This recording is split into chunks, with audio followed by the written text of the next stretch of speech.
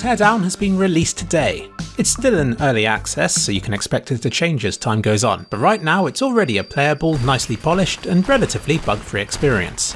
Link to the Steam page is in the description. Not that I'm psychic, but when you first load this game up, all you'll want to do is to break stuff. Lots of stuff. You'll have hours of fun doing that. The best way to do that would be the sandbox mode, but you won't have access to all of the maps and tools straight away.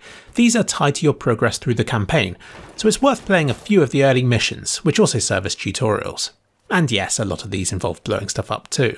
I've played the campaign for about 3 hours, have beaten about 15 missions, and from that I've already unlocked almost every weapon and all 4 maps, ready to be played in sandbox mode. What's great about that mode is that you have unlimited ammunition for everything. I got to play this game before release, and back then, while it still gave me a lot of ammo, it wasn't unlimited, so in the back of my mind I was always concerned that I wouldn't have enough ammunition to finish blowing up whatever I was trying to destroy. So that's no longer a problem. And if you die in sandbox mode, you'll respawn with the existing damage still in place, so don't worry about losing all of that.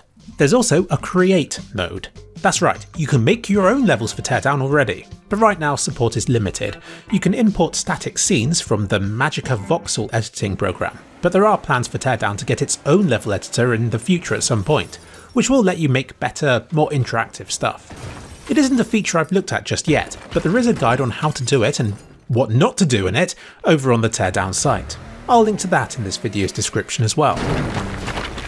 So, the campaign mode. What can you expect from this? Well, it's a lot more story driven than I expected. You have a home hub that you return to after every mission, and over time it changes as you slowly build a beautiful home of your own. It's a really nice little touch actually, but you'll miss it if you choose to jump straight into the next mission every time. You play as a guy, who I've decided to call Darius, whose job is to destroy stuff. One thing leads to another and he starts down a vicious circle of destroying and stealing more stuff in order to make up for the damages he's already caused. There are a number of recurring characters who give you missions, and you get to see their stories progress over time too. There's some dark humour going on here, with you as the middleman that nobody seems to suspect. I really want to stress how fun and silly some of these missions are. Of course, there are the one minute missions where you have to carve an optimised path through the level between objectives, but there are also other sorts sprinkled about where you're just meant to break stuff, and some that are so mad that it would be a crime to reveal them here. And before each objective starts, there's always time to explore and to simply appreciate the atmospheric environments that you find yourself in. There's also a kind of RPG progression aspect to the game. You unlock new items by completing missions and optional objectives, and can upgrade those items using money that you make by stealing stuff from the levels. I actually found the stealing aspect to be a lot of fun. I was a bit disappointed to discover that once something's been stolen, it remains stolen forever. It means the second time you visit a level there's not much to find in it anymore. I guess what I wanted was to be able to grind away at certain levels to farm enough money to upgrade all of my equipment. Maybe things change later on in the campaign, but I kind of wish that there were just a few randomly spawning valuables every time you load the level which you get to keep if you beat the missions for it, meaning that if you invest enough time into the game you'll end up with fully upgraded weapons. As an example of the upgrades, with the shotgun you can increase how much ammo you have for it, you can up its range, and you can up the amount of damage it deals. I'm not far enough through the campaign to get a good grasp of how much you'll be able to unlock in total, but it does let you give some love to the tools that you find yourself using the most. You might be happy to know that it's quite easy to beat the mission. It's a lot harder to beat it though with all of the optional secondary objectives as well, and I didn't feel like I was rewarded much for doing that.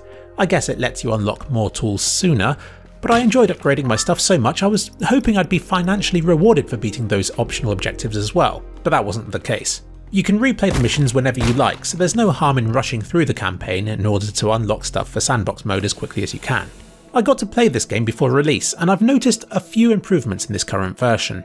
There are more sound effects for items like straw and metal. The music in general is more upbeat and happy. I got a lot of comments from people asking why the music sounded so depressing before, so I guess this is something that was changed intentionally.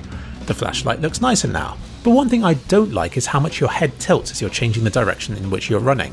It almost feels like you're on a ship or that the ground beneath your feet is tilting, so I hope an option will be added to tone this effect down or to disable it completely.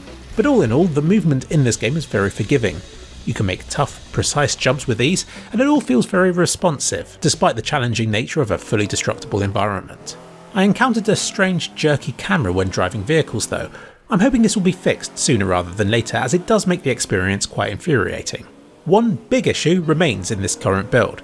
Thanks to my unlimited ammunition in the sandbox mode, I was able to confirm that sometimes buildings still don't fall down even when fully broken up from the ground. It only happens sometimes, and if it does, then you'll need to shoot the structures like this pylon a few more times to kick it into action. Sometimes big buildings will collapse as intended, like this whole tower just here.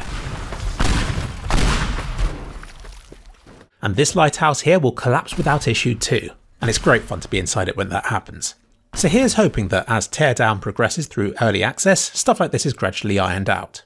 Even in this first release, the campaign mode is already a lot of fun, more fun and varied than I had expected it to be. And although there are just four different levels, the weather, time of day and objectives change enough that the different missions all feel different from each other. And in a way, being able to familiarise yourself with these layouts becomes part of the fun. All in all, Teardown is a lot of fun, and thank you to Dennis for providing me with early access. If you're worried that your computer won't be able to run it, check out this video of it here where I test it out on all sorts of slower hardware.